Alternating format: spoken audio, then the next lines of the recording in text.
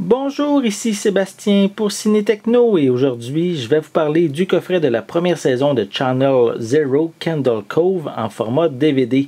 Elle met en vedette Paul Schneider, Fiona Shaw, Louisa d'Oliveira, Nathalie Brown et Sean Benson. C'est distribué par Universal et vous pouvez vous la procurer en magasin dès le 26 septembre 2017. C'est l'histoire d'un psychologue qui revient dans sa ville natale pour enquêter sur les mystérieuses disparitions de son frère jumeau et de quelques autres enfants. Euh, tout ça s'est passé dans les années 80. Elle serait liée à une émission de télé locale pour la jeunesse diffusée à l'époque. Le programme aurait un rôle à jouer dans les enlèvements meurtriers et cauchemardesques de leur enfance.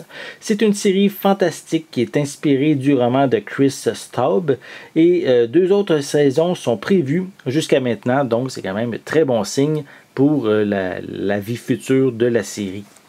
Donc voici un peu plus près la pochette assez, assez mystérieuse, assez peurante aussi en même temps. Voilà. Euh, comme ça.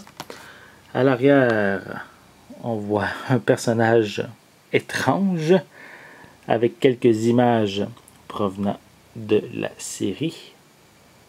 Voilà.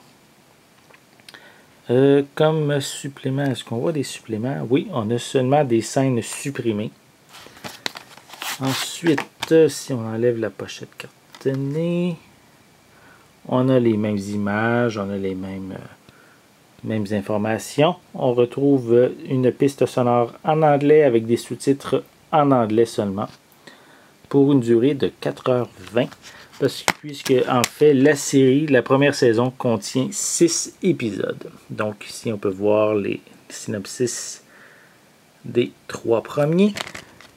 On a le disque 1, le second disque et ici en arrière l'information sur les trois derniers épisodes avec encore des scènes supprimées.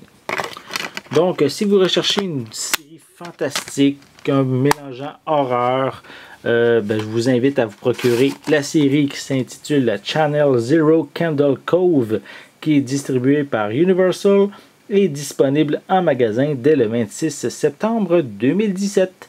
C'était Sébastien. Merci et bon visionnement.